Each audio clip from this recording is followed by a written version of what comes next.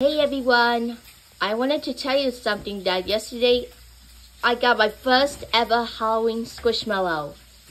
Yep, you heard that right, Halloween Squishmallow. Yeah, so this one is an alien.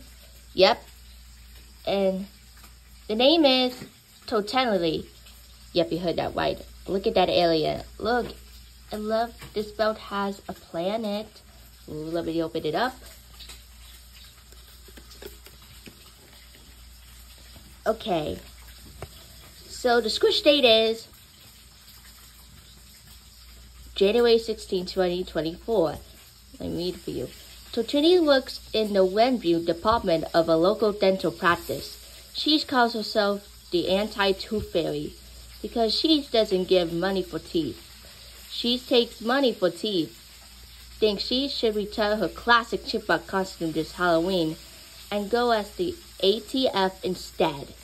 Ooh, that's amazing. What did you think about this? This is me signing off. Goodbye.